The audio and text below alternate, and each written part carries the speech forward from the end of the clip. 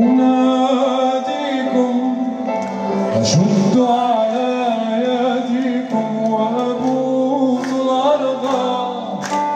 تحت نعالكم وأقول وفديكم أناديكم أشد على يديكم وأبوس الأرض. تحت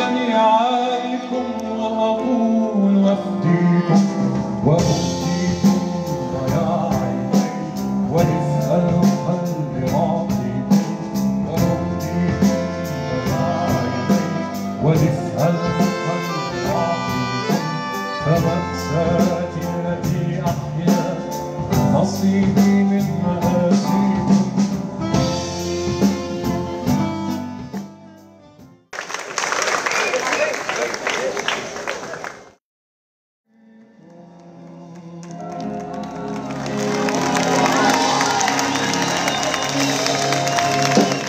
لكل فنان فلسطيني أو حتى فنان عربي آه، وجوده بالقدس آه، له معنى كثير كبير ويتفوق على كل الساحات والمسارح في العالم. ودائما راح يكون لها مكان مميز أول حفل في القدس. آه، إن شاء الله نعيدها كمان وكمان